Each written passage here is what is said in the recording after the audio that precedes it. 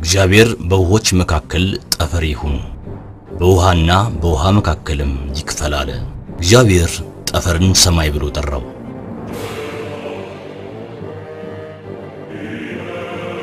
እግዚአብሔርም ከሰማይ በታች ያለው ውሃ በአንድ ስፍራ ይሰብሰብ፣ የብሱም ይገለጥ አለ። እንደዛም ሆነ።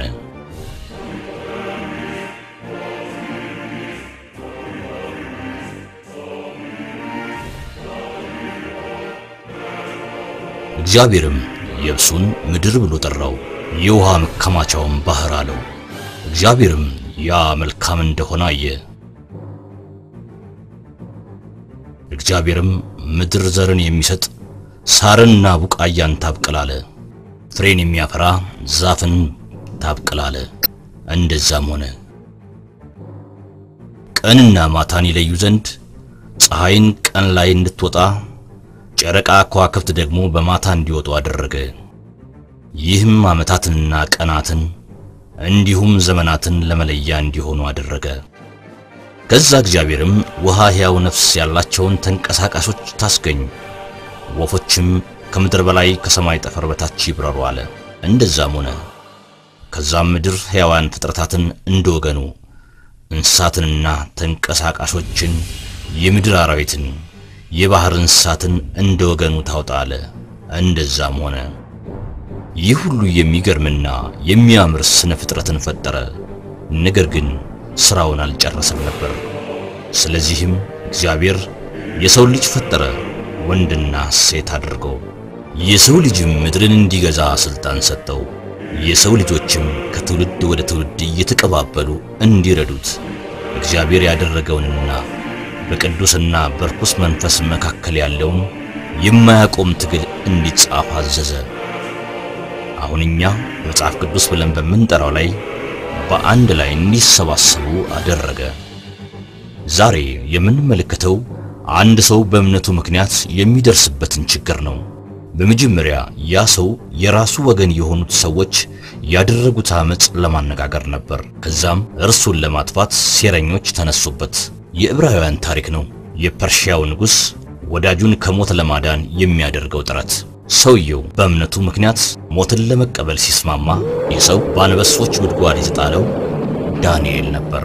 የመጨረሻው ዕጣ ፈንታ ምን ይሆን? የባቢሎን ንጉሥ የኢየሩሳሌም ከተማን ደምስሶ ካጠፋ በኋላ ዕብራውያኑን ማርኮ ወደ ፐርሺያ ይዟቸው ተመለሰ።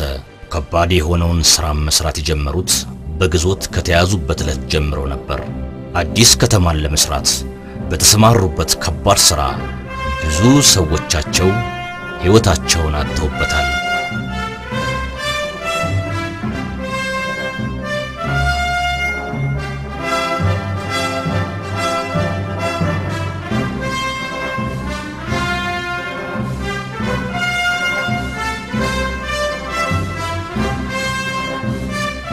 ግንዱን አውጡት። እናንተ መጎተታችሁን ቀጥሉ። እናንተ ደግሞ ግንዱን ከፊት ለፊት አስገቡት። ዕብራውያን ከግዞትና ከባርነት የሚወጡበት ተስፋቸውን የሚጠብቁት በዳንኤል በኩል ነበር። እንዲሁም ዕብራውያንን እግዚአብሔር በእርሱ በኩል አድርጎ ጥበብን ይሰጣቸው ነበር። ዳንኤል ለንጉሡ ለዳሪዮስ ባደረገ ውለታ ንጉሡ አስተዳደሩ ላይ ባሉት ሁሉ ከፍ አርጎ ሾሞታል።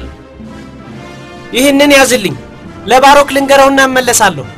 በአስተዳደሩ ላይ ባሉ ሰዎች ሙሰኝነት እንዳለ ከራሱ ወገን ከሆኑ ሰዎች በምስጢር ለዳንኤል ደርሶታል።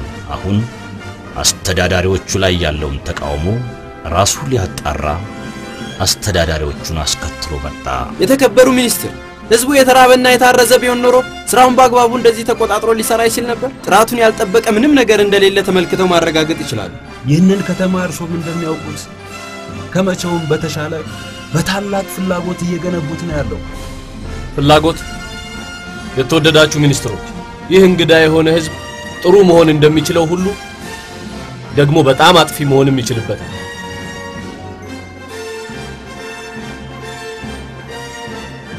የንጉሱን አንበሶች ወደ አዲስ ቦታ ቀይረን አምጥተናቸዋል። እንጎብኛቸው እንዴ? በኋላ ሊሆን ይችላል። በመጀመሪያ ከተማውን ሲሰሩ ልመልከት። ምናልባት አዲስ እውቀትን ልማርበት እችላለሁ። ፍቃዶ ከሆነ ክብሩነትህ እኔ አብሬ ብሄድ እኔ ብቻዬን ልጎበኘው እችላለሁ። እናንተ ወደ ራሳችሁ ጉዳይ መሄድ ትችላላችሁ። ምናልባት ጠባቂዎች ብመድብልን። ምክንያቱም እነዚህ ዕብራውያን መቼም ምን እንደሚያደርጉ የሚያውቅ የለም። ክቡርነት እኔም ዕብራዊ መሆኔን ሳትረሱት አልቀራችሁም መሰለኝ። የተከበራችሁ ሚኒስትሮች፣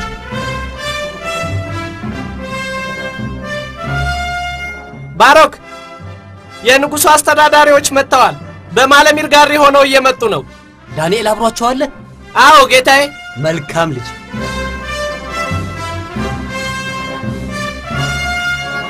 በጣም ውድ የሆነ ጋሪ ነው። ገና በዚህ ሥራ ሁላችንም ሀብታም እንሆንበታለን ሲዛር። ነገር ግን ልነግርህ የምፈልገው ሁላችንም በአግባቡ ምስጢራችንን መጠበቅ አለብን። ያደረግነውን ነገር ዳንኤል ከደረሰበት ንጉሡ አንገታችንን ነው የሚያስቆርጠው። ስለዚህም በጉቦ ዳንኤልን ልናታልለው ይገባል። ጅላቱን ዳንኤል በጭራሽ ሙስና አይቀበልም። ለዚህ እኮ ነው ንጉሥ ዳሪዮስ የሚያምነው። ለዛም እኮ ነው ከኛ በላይ አድርጎና የግዛቱ እውነተኛና የማይነካ ሰው አድርጎ ይሾመ። ስለዚህም ያቀዳችሁትን እቅድ መተግበር ይኖርብናል ማለት ነው ሲዛር። ነገር ግን ዳንኤልን ለማጥፋት መሞከር በጣም አስቸጋሪ ነው። በእርግጠኝነት ራሳችንን ወጥመድ ውስጥ ይጥለናል። ዳንኤል አንድ ድክመት አለበት። ወደ ዕብራውያን አምላክ ሁል ጊዜ ሲጸልይ ይታያል። ንጉሡም የዛው አምላክ ተከታይ ነው። የየራስ ድርሻችንን በአግባቡ ከተወጣን ዳንኤል ከዚህ በኋላ የኛ ሐሳብ አይሆንም። የንጉሡ አንበሶች በአንተ ቁጥጥር ስር እንዲሆኑ አድርገናል። አሁን በአንተ በኩል ማድረግ የሚጠበቅብህን አድርግ። አንበሶቹን በሚገባ አውቃቸዋለሁ። የተከበርከው ወዳጅ፣ እስካሁን እንዲህ አድርጎ እርቧቸው አይቻቸዋል። ቆ- ቆይ እኔ ልቀበልህ። ውሃ ስጡት። በዚህኛው መንገድ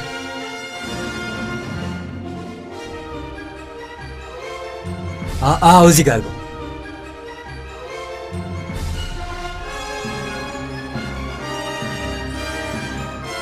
ጆያና እዚህ ምን ታደርጊያለሽ? ውሃ ይዘሽ በተመደብሽበት ቦታ ላይ ልጆቹን ለምን አታስተኝም? ምን ብዬ ልመልስልህ? የፐርሺያ ታላቁ ጌታ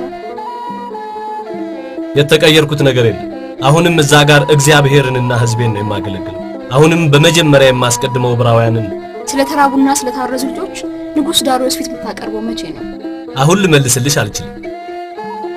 የምችል ከሆነ ግን አደርጋለሁ። ኦ መልካም። በቀን ሶስት ጊዜ ዳንኤል እንደሚጸልይ ሁላችንም እናውቃለን። ግን ስለምን ይሆን የምትጸልየው? ሁሌም የምጸልየው ከግዞታችን ነፃ እንድንወጣ ነው ጆያና። አንዳንዴ ግን የራሴ የሆነውን ሕዝብ አስተሳሰቡን እንድረዳው ጸልያለሁ። ይቅርታ አድርግልኝ ዳንኤል። ውሃ ማምጣት ይኖርብኛል፣ እርሱንም ሳንከለከል በፊት።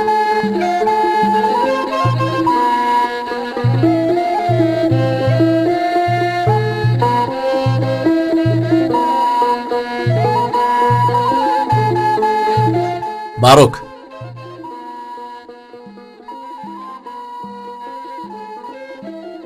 ደህና ነህ? ከስድስት ወር በኋላ ነው እዚህ ህዝቤ መሃል የተገኘሁት። ነገር ግን ቁጣችሁን ነው በአይናችሁ ላይ የማነበው። ምንድን ነው የተፈጠረው ባሮክ?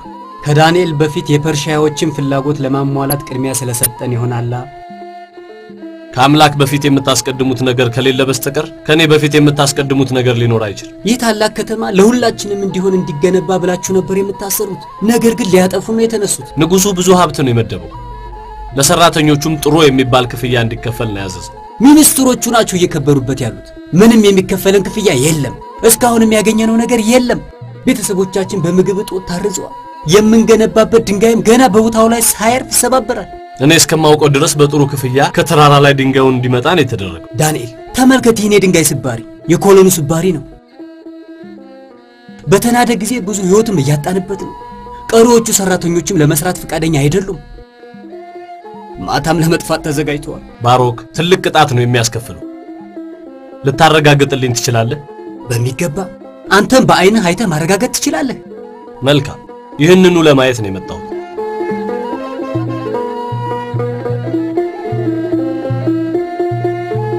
ወደ ኋላ ሁኑ። በእናንተ ጥያቄ መሰረት ለሶስት ቀናት ምግብ አልበሉ። በጣም ጥሩ። ዳንኤልን ንጉሡ እንደ ወንድሙ ነው የሚያየው። እንዴት እንዲህ አይነት ፍርድ ያስተላልፋል ብላችሁ ታስባላችሁ? ዳሪዮስ ምርጫ አይኖረውም። አንዴ በማህተሙ የማይሻር ሕግ አድርጎ እንዲያወጣው ብቻ ነው የሚጠበቀው። ዳንኤል በፍጥነት መወገድ እንዳለበት እኔም እስማማለሁ። ግን ድፍረትን የሚጠይቅ ነው። አደጋ ሊያመጣብንም ይችላል። አዎ፣ በሕግ ፊት ሁሉም ነገድ እኩል። ምን አይነት የዋዎች ናችሁ? ዳንኤል ያደረግነውን ለንጉሡ እንዲገልጽለትና አንገታችንን እንዲያስቆርጥልን እንፍቀድለን ነው የምትሉት? ምን አይነት ሰው ነው ለአስራ ሁለት ሰዓት በዚህ ገዳይ በሆኑ በተራቡ አንበሶች መሃል መቆየት የሚቻለው?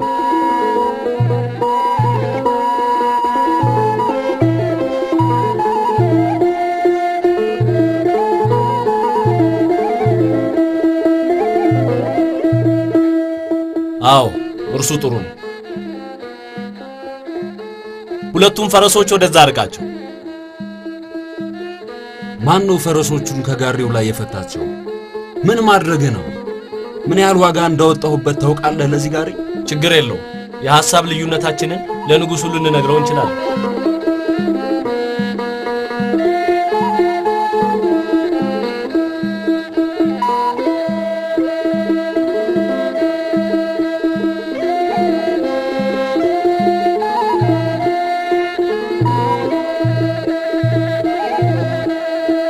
ንጉሥ ሆይ የተከበርከው ወዳጄ ዳንኤል ምን ያህል ጊዜ ወስድብናል ይህንን ከተማ ሰርተ ለመጨረስ? ታላቁ ንጉሥ ዳሪዮስ ሆይ በእርግጥ በዚህ ሰዓት ምን ያህል ጊዜ ሊወስድ እንደሚችል ለመመለስ ይከብደኛል። ወዳጄ ዳንኤል እዚህ ችግር ያለ ይመስለኛል። ከዚህ በፊት ብዙ ችግሮችን አብረን ተጋርተናል። ስለዚህም ችግሩን ብታጋራኝ። አንድ ችግር አለ። የሚሰራበት ጥሬ ዕቃ ጥራቱ በጣም የተጓደለ ነው ነው የሚሉት። እንደሚመስለኝ እዚያ ጋር ያለው ኮለን ከላይ የሚወርደውን ወራጅ ድንጋይ ራሱ መሸከም አልቻለም። ስለዚህ ለሕይወታቸው ፈርተዋል እንዳይናድባቸው። ይቅርታ አድርግልኝ የተወደድክና የተከበርክ ንጉሥ ሆይ፣ እዛ ጋር ቆሞ የሚያዩትን ውድ የሆነውን ጋሬን ዳንኤል ወደዛ ወስዶብኛል። ማለሚር ራሱ ተመልክቶን ምን ያህል ዕብራውያኑ ለሕይወታቸው እንደፈሩና እንደደነገጡ። ምንድን ነው የምትሰጠው መፍትሄ ዳንኤል? አደጋውን ለመቀነስ በጋሪው ለመጠቀም ነው ያስብኩት። ወዳጄ ማለሚር ይህንን ውድ የሆነውን ጋሪውን እንድንጠቀምበት ከፈቀደልን በመመሪያው መሰረት ስራውን እያከናወነ አይመስለኝም። መሄድ ካለበት በላይ አልፎ የሄደ ይመስለኛል። አልመሰለኝም። ዳንኤል የተከበረና የሚሰራውን የሚያውቅ ሰው ነው። የምታቀርቡላቸው ጥሬ ዕቃ ጥራቱን የጠበቀ ነው ወይንስ አይደለም? በሚገባ ነው እንጂ ጌታዬ። ሂብሮች ግን ለምን ተቃውሞ ከሚያቀርቡ ይልቅ አርፈው ስራቸውን አይሰሩም? በሕጋችን ፊት ማንኛውም ነገድ እኩል ነው ተደርጎ የሚታይ ለሁለቱም ወገን የሚጠቅም ሀብት ለመስራት ነው የምናስበው። በእርግጥ የኔ ጋሪ ከዕብራውያኑ ሕይወት ይበልጣል እያልኩ አይደለም። ሲሞክሩት ማየት እፈልጋለሁ።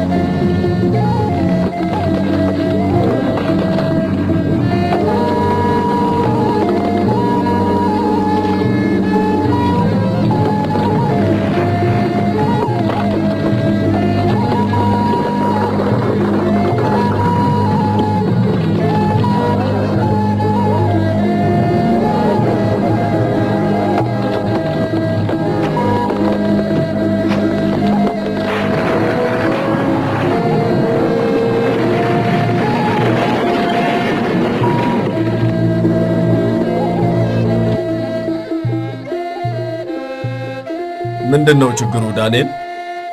እርግጠኛ መሆን አልቻልኩም ንጉሥ ሆይ። ምን እንደሆነ ችግሩ አጣርቼ ነግሮታል። ያገኘሁትንም ችግር ለእርሶ ውሳኔ እንዲያስተላልፉበት አቀርበዋል። ይሄ ድንገት ያልተሳካ ነው፣ አጋጣሚ ነው ንጉሥ ሆይ። ጊዜያዊ ችግር ነው። አንድ ታላቅ የደስታ ዝግጅት ልንነግሮት ነው። የሚያስደስት ዝግጅት ነው ያልከኝ? ሁሉም ሚኒስትሮችህና ባለሟሎቹ ባሉበት አንድ ትልቅ ስጦታ ልሰጥህ አስበን ነው። እንደ ድንገተኛ ስጦታ አድርገህ ልትቆጥረው ትችል ይሆናል። ያልታሰበ ድንገተኛ። በእርግጥ ሳይታሰቡ የሚደረጉ ድንገተኛ ነገሮች በጣም ያስደስቱኛል። ስለዚህ ወደ ድንኳኔ ልትመጡ ትችላላችሁ። ዳንኤል ንጉሥ ሆይ ልለምንህ እባክህ መቆጣጠሬን ልቀጥልና እስከ ላይኛው ኮረብታ ድረስ ወጥቼ ማየት እፈልጋለሁ። ለምን ታበሳጨኛለህ? ዳንኤል ዳንኤል ምን ያህል ለስራው ቁርጠኛ እንደሆነ ያውቁ የለ ንጉሥ ሆይ። ዳንኤል መስራት የፈለገውን ይስራ። ጠቃሚ ነገር እንደሚሆን እርግጠኛ ነኝ። ፈቅጄልሃለሁ ዳንኤል። እናንተ መኳንንቶች ወደ እኔ እንድትመጡ ፈቅጃለሁ። የምትሰጡኝንም ለማየት ጓጉቻለሁ።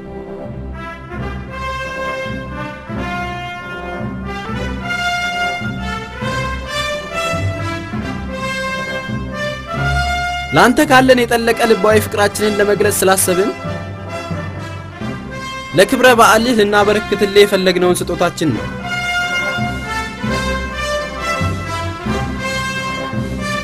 የሚገርምና የሚያስደስት ነው። ንጉሶ ለአንተ ክብር ስንል የሆነ ነው። ስለዚህም እንዲሆን ብትፈቅድልን ይህንን ብታደርገው ለአንተ ከዚህ በፊት ከነበሩት ንጉሶች ሁሉ በላይ ትልቅ ክብር ይሆንልሃል። በዓለም ያለም ሁሉ ከማንም ንጉሥ በላይ እኛ መኳንንቶችህ ምን ያህል እንደምናከብር ይረዳል። ለሁላችንም አንብብልን እስቲ። ከዚህ ጊዜ ጀምሮ እስከ ሰላሳ ቀናት ድረስ ማንም ወንድ፣ ሴት ወይም ሕፃናት ለማንኛውም አምላክ ጸሎት ማድረስ አይችልም ከንጉሥ ዳሪዮስ በስተቀር። በዚህ ሰላሳ ቀናት ውስጥ የሚያደርግ በአንበሳ ጉድጓድ ይጣላል። ይህም የግዛቱ ሁሉ የበላይ ሕግ ይሆናል፣ ውሳኔውም አይሻርም።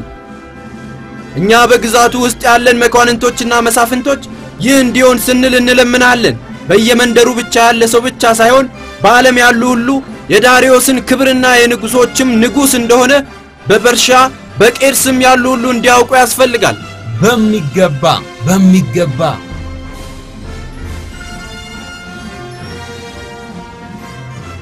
እንዲህ ሲደረግ በታሪክ መልክ እንኳን ሰምቼ አላውቅም። ግን በዚህ ሕግ አምላክ አድርገው ሊያዩ ለሰላሳ ቀናት ያህል ነው ንጉሥ ሆይ ሕግ አድርገህ እንድታወጣው እንለምናለን።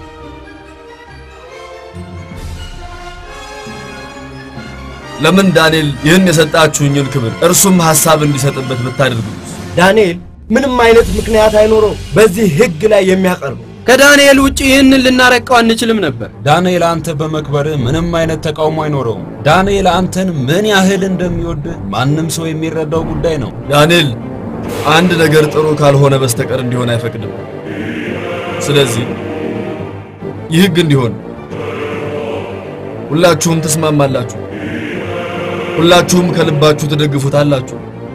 አዎ በሚገባ እዚህ ጋር አስቀምጡ።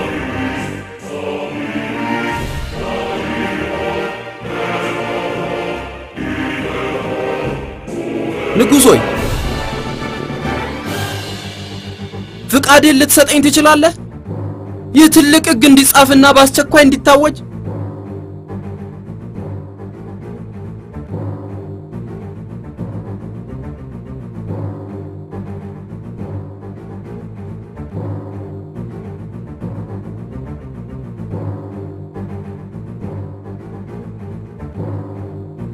ወዳጆቼ በዚህ ዕለት ዳንኤል ፊቱን ወደ ኢየሩሳሌም አዙሮና ተንበርክኮ እጆቹን ዘርግቶ ወደ ፈጣሪ ሲጸልይ በራሱ ላይ ሞቱን አወጀ ማለት ነው።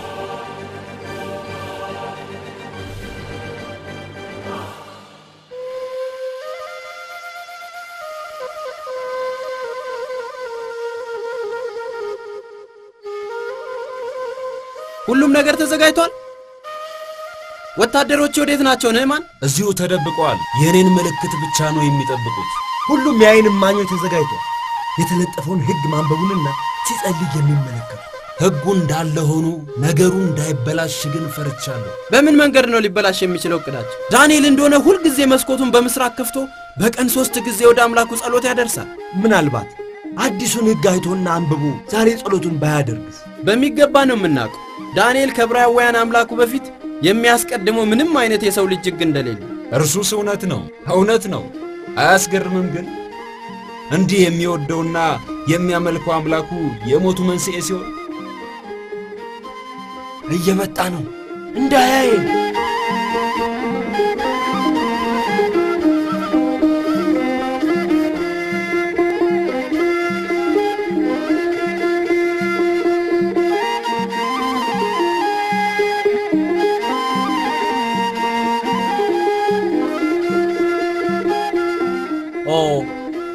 ቤታችን ደርሰናል እንዴ? አመሰግናለሁ።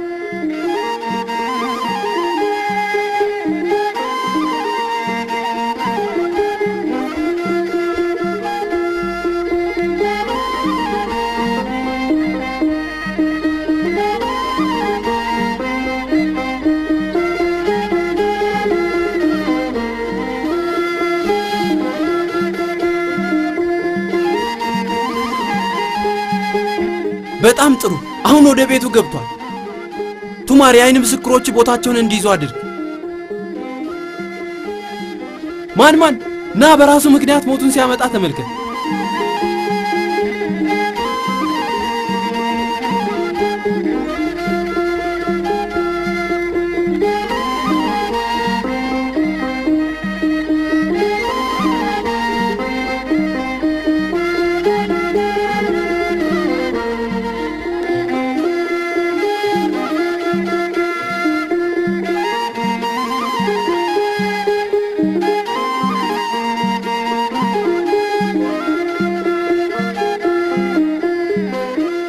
ማን ማን ወታደሮች ጩኸት ሲሰሙ ወዲያው እንዲመጡ ትእዛዝ ስጣቸው።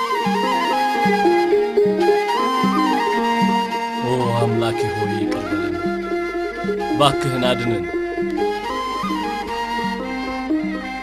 አንተ ጻድቅ የሆንክ አምላክ ሆይ ምሕረት ይቅርም በለን፣ ጸሎታችንንም አድምጠን።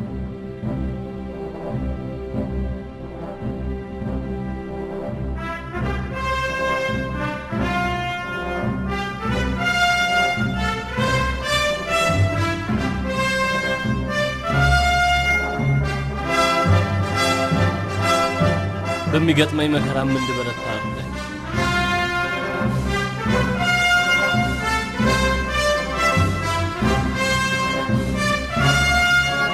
መንፈሳ ያጠነክረኝ ዘንድ በአንተ ምክንያት ለምቀበለው ጥሷል፣ እየጸለየ ነው። ይታሰር፣ ይያዝ፣ ይያዝ፣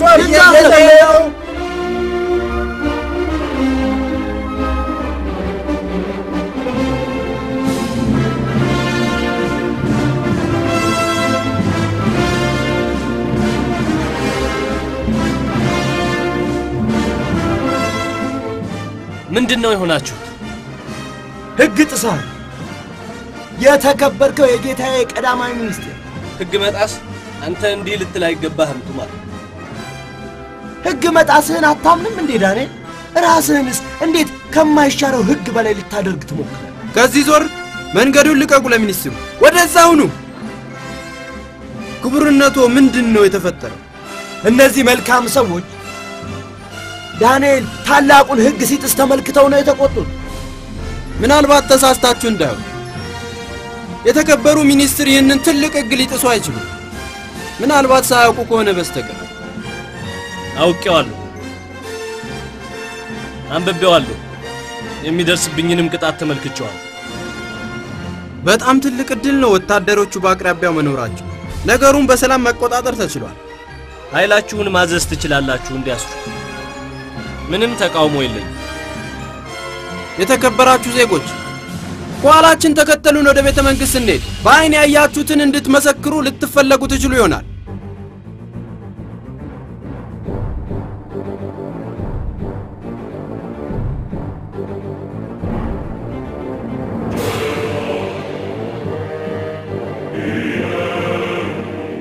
ስለዚህ የተከበርከው ንጉሥ ሆይ ምስክሮችና ማስረጃዎች ተሰምተዋል። ዳንኤል ራሱም ለዕብራውያን አምላኩ እንደ ጸለየ በራሱ አፍ ተናግሮ አምኗል። የማይሻረውንም ሕግ መጣሱን ራሱ አምኗል። የማይሻር ሕግ እንዲህ ያለ የቂል ሕግ መጀመሪያውንም መፈረም አልነበረም። የተከበርከው ንጉሥ ሆይ ይህንን ሕግ በማኅተም አትመህ የማይሻር ሕግ እንደሆነ አድርገኸዋል። ስለዚህ የማይሻር ሕግ ነው። ሽሬዋለሁ። እንደውም ታላቅ የሆነውን የማይሻር ሕግ ንጉሡም እንኳን ቢሆን መሻር እንደማይችል የታወቀ ነው። ሁልጊዜም በቀን ሦስት ጊዜ ጸለያለሁ። አሁንም ይህንኑ ሳላጓድል እያደረግኩ ነው። ዳንኤል ራሱ በሚገባ አምኗል ሕጉን ስለመጣሱ። እኔም የምጠይቀው ቅጣቱን እንዲቀበል ነው። እኔን አታላችሁኝ ሊሆን ይችላል የማይሻር ሕግ እንዳደርገው ስታደርጉ፣ ነገር ግን እውነተኛ ወዳጄን ለማጥፋት ልትጠቀሙበት አትችሉ። እንዲሁም በዚህ ግዛት ውስጥ ከማንም በላይ ታማኝም ጭምር ነው። በአንድ አይነት ሕግ አይደለም ማለት ነው ሁላችንም የምንመራው የተከበሩ ንጉሥ ሆይ። በተመሳሳይ ለሁላችንም አንተ ንጉሥ እንደሆንክ ሁሉ ለሁሉም ነገድና ወገን በእኩል አይደል እንደ የሚያገለግለው? ዳንኤልን ለአስራ ሁለት ሰዓታት ቀርቶ ለአንዲት ሰዓትም እንኳን ቢሆን በአንበሶች ጉድጓድ እንዲጣል አሳልፌ አልሰጠም።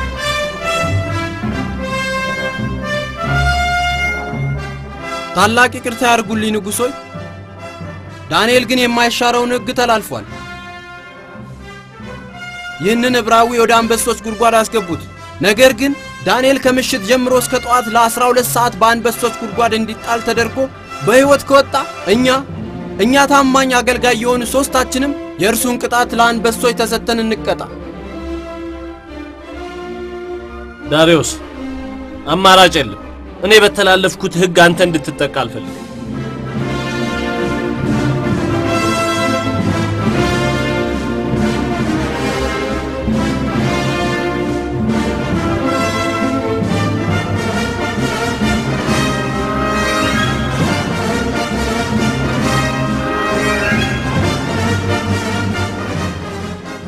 ዳንኤል ላተርፍህ ብዙ ሞክሬያለሁ። የምትከተለው እርሱ ያጠንክርህ።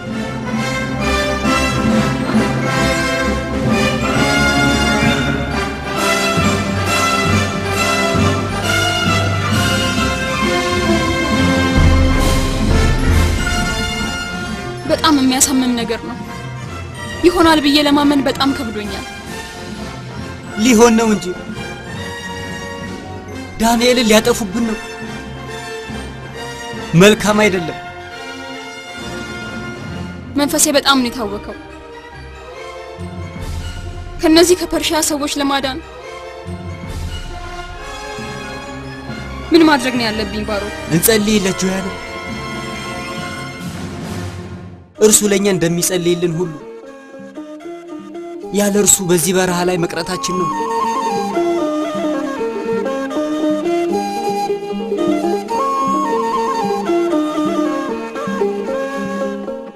ሲዛር ሲዛር፣ ና ወደዚህ ውጣ ቶሎ! ዕብራውያኑ ወደዚህ እየመጡ ነው። ትመለከታቸዋለህ? ወደ እኛ እየመጡ ነው። ሊገድሉን ነው። ይህን ያህልም ደደብ አትሁን። እየመጡ ያሉት ለዳንኤል ለመጸለይ ነው። መጨነቅ ካለብህ መጨነቅ ያለብህ ስለዛ ጉዳይ ነው። እነዚህ ሚኒስትሮች አሁንም ድረስ ለዳንኤል ታማኝ ናቸው። ውድ የሆነ ቢሆንም ማካፈል ሳይኖርብን አይቀርም ለእነዚህ ሰዎች። ውድ ነው ውድ ነው ነው ያልከን? ምን ያህል ነው የሚያስከፍለን? የተከበርከ ወዳጃችን ብዙም አይደለም። አንዳንዴ ግራ ነው የሚያጋባኝ የትኛውን ነገር እንደሚያመዝን ለመገመት። ፍርሃትህ ነው ወይስ ተንኮለኝነት?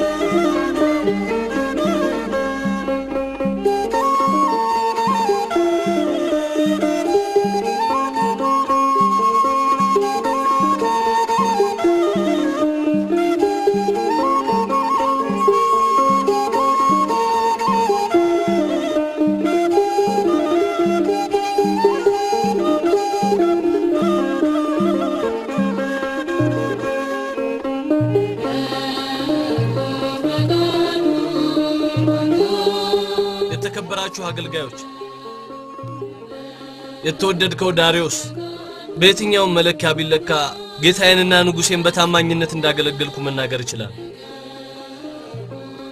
በሁሉም ሕጎችና ሥራዎች ላይ ይሄ ክፉ ሕግ ከመውጣቱና ከመተላለፌ በፊት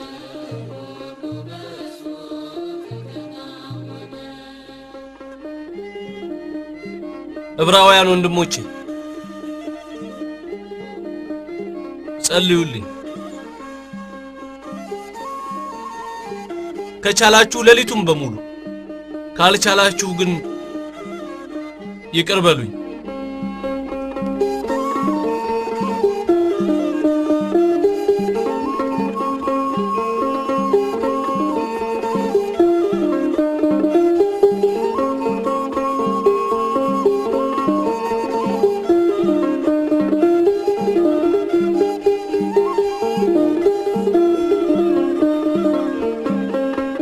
በንጹህነት የምታመልከው የምታገለግለው አምላክህ ከዚህ ሁሉ ያውጣ ያድንህም። አዎ እርሱ ለዓላማው ከፈለገኝና ፍቃዱ ከሆነ ነገር ግን በአንበሶች እንድበላ ፈቅዶ ከሆነም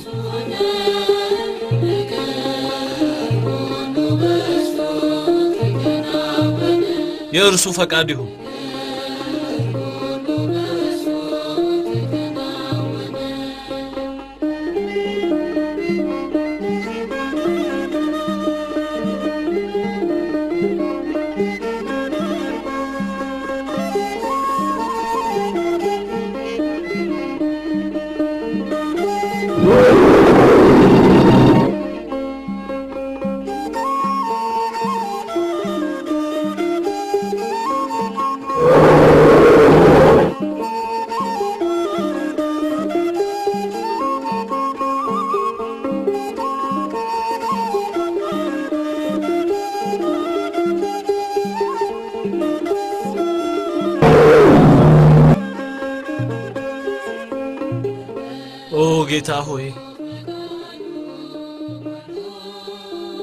እባክህን ሕይወቴን ታደጋት።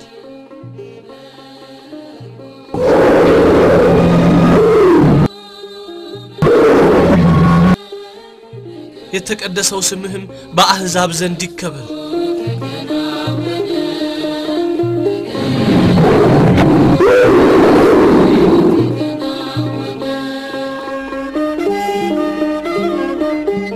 ንጉሥ ሆይ ለደስታችን የሚሆን ወይን፣ ጥብስና ሙዚቃ ተዘጋጅቷል። ተቀላቀለን፣ አክብረን። ወይንና ሙዚቃ ለእናንተ ያስፈልጋችሁ ይሆናል ሲዛር። በእርግጠኝነት እኔን የሞት ቅጣቱን እንዳወጣ አድርጋችሁ ሐሳባችሁን አሳክታችኋል።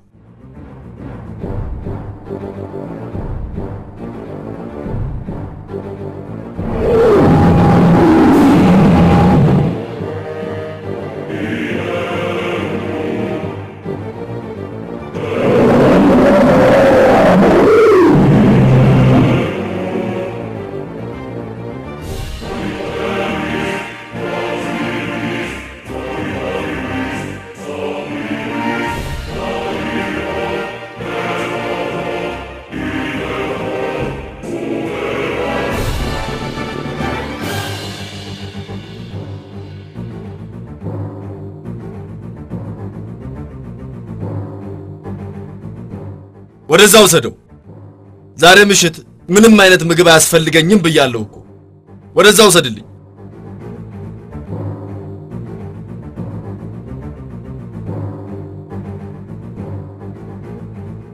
ከእነዚህ ሴረኞች ጋር መቋደስ አልፈልግም።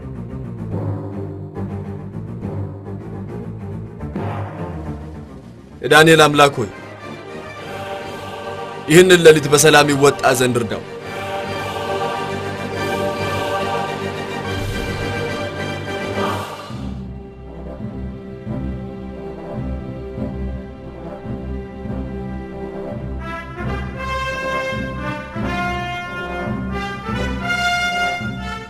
ምንም ነገር ሊሳሳት አይችልም። እኛው ራሳችን ምስጢራችንን መጠበቅ ከቻለን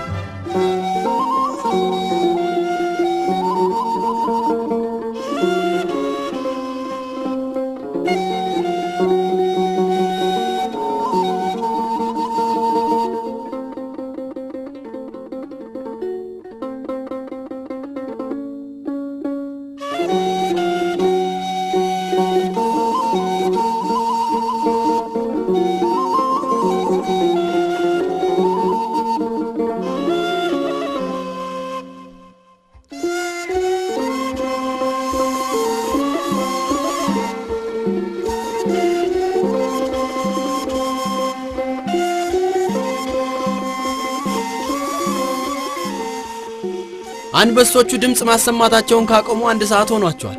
ዳንኤልን ገና በጊዜው ነው በልተው ያጠናቀቁት ማለት ነው።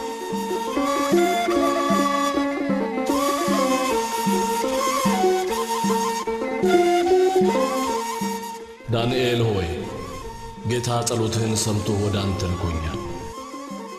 የአንበሶቹን መንጋጋም ለአስራ ሁለት ሰዓታት እዘጋልሃለሁ፣ በሰላምም ከዚህ ትወጣለህ።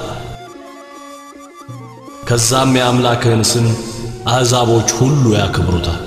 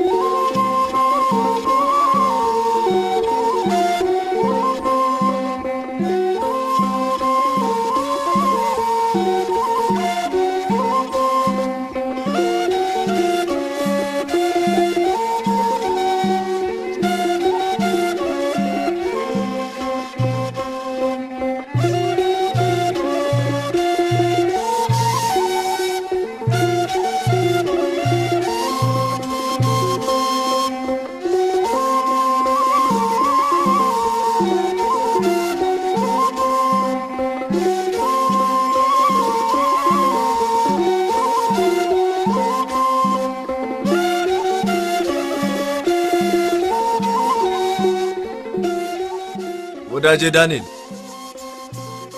ሁልጊዜ የምታመልከው አምላክህ ከአንበሶች አፍ አድኖሃልን? ዳንኤል በሕይወት አለህ? ንጉሥ ሆይ ሺህ ዓመት ንገስ። በሕይወት አለሁ። በፊቱ ቅንነት ተገኝቶብኛልና በአንተም ፊት ደግሞ ንጉሥ ሆይ አልበደልሁህምና በሕይወት አለሁ። ዳንኤል በሕይወት አለ። ዳንኤል ከአንበሶች አፍ ድኗል።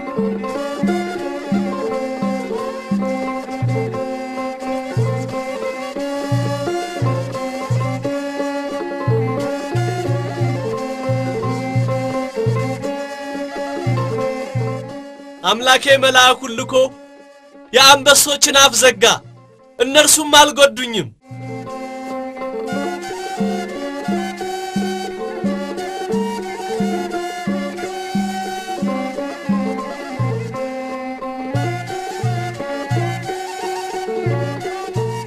ንጉሥ ሆይ ማረን። ዳንኤል ምሕረት እንድናገኝ ለምንልን። ታላቅ ስህተት ነው የሠራነው። ዳንኤልን መርዳት እንዳልቻልኩ ሁሉ እናንተንም ልረዳችሁ አልችልም። በራሳችሁ አፍ ተናግራችኋልና እባክህን ንጉሥ ሆይ ከሕግ በላይ እንደሆንላቸው አትጠይቀኝ። ላንተም አላደረግኩትም ነበር። ከዚህ አርቋቸው።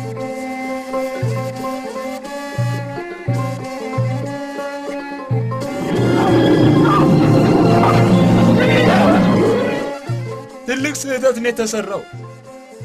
ዳንኤል ዳንኤል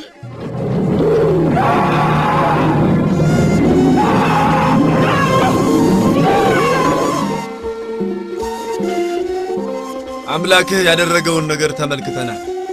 ስለዚህም በመላው ግዛቴ እርሱ አምላክ እንደሆነ አውጃለሁ። የሥልጣኔም እኩሌታ ሰጥቻለሁ። በመጀመሪያም ታላቅ ነበር፣ ከዚህ በኋላም ከዚህ በላይ ታላቅ ትሆናለህ።